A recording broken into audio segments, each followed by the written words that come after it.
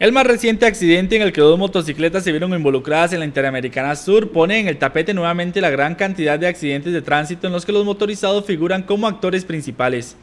Un detalle que media la mayoría de percances es el consumo de alcohol, tal y como quedó demostrado en los operativos que realizó el COSEBI en la Semana de Seguridad Vial, donde en cuatro horas sorprendieron a tres motociclistas bajo efectos de licor.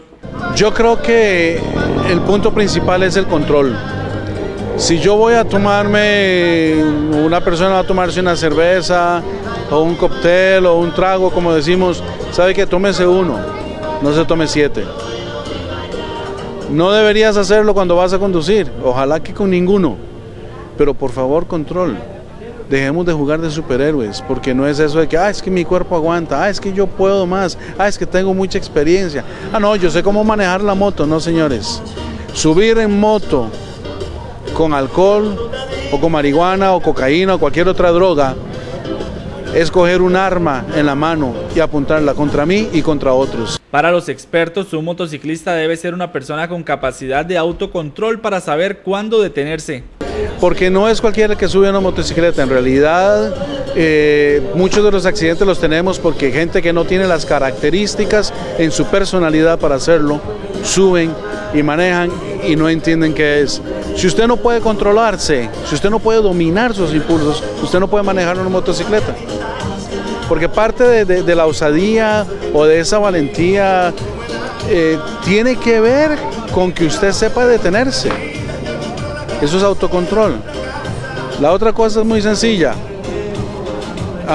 los años nos enseñan. Deberíamos aprender de los mayores. ¿Por qué razón? Porque cuando voy creciendo voy dándome cuenta que esto era mejor no hacerlo. Además tome en cuenta que cualquier persona puede agarrar una motocicleta, pero no cualquiera tiene las características para ser considerado un motociclista. Cualquiera puede mover una motocicleta, cualquiera puede empujarla, meterle el gas, el clutch o ahora un scooter, acelera y ya está. Pero ser motociclista es otra cosa. Y ser motociclista requiere tiempo, requiere preparación, educación, tienes que desarrollar las habilidades para el motociclista, tienes que desarrollar las destrezas, saber cómo frenar, cuándo frenar. Yo veo que la mayoría de gente dice que no frena con el freno de adelante. ¿Por qué razón? Ah, porque se me da vuelta. Disculpen, la moto no es una bici. El freno de adelante es el que lleva todo el peso de la frenada. Si usted no sabe frenar con el de adelante, no se suba porque cuando toca el de atrás le va a derrapar para la izquierda inmediatamente. O sea, se le cae al lado izquierdo y usted se va a la derecha. Las motos son el medio de transporte que se ve involucrado en más accidentes en todo el país.